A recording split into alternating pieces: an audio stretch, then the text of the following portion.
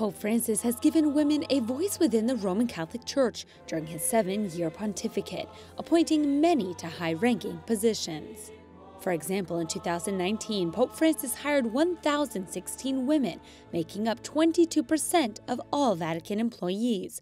For these reasons and many more, Vaticanist Nina Fabrizio wrote this book, Il Papa delle Donne, or The Pope of Women in English.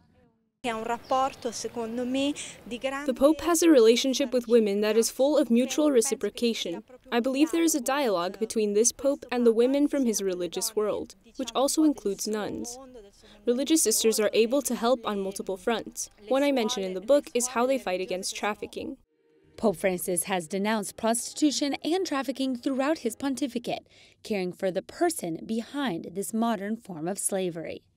Pienso especialmente en esos niños, niñas y mujeres expuestos a la prostitución y a la trata, desfigurados en su dignidad más auténtica.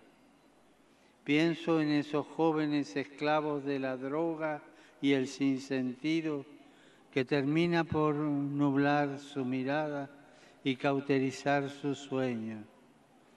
Pienso en los migrantes, despojados de su hogar y familia, así como tantos otros que, como ellos, pueden sentirse olvidados, huérfanos, abandonados. Then there's also a dialogue with all women, lay, Catholic, obviously with Christians. But Pope Francis is a large world leader who knows how to reach those outside of the Catholic Church. I believe he's currently in dialogue with all women. Nina insists this also stems from Pope Francis's great devotion to Our Lady and the sense of maternity she offers the Church. That's why she was surprised to receive a letter from Pope Francis reflecting on her book and this idea of maternity.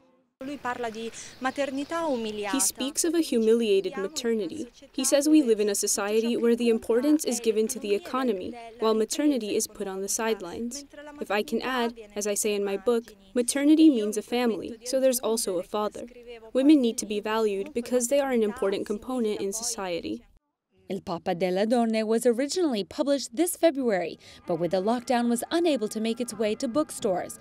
Now, as coronavirus restrictions loosen, it can be found in its original Italian.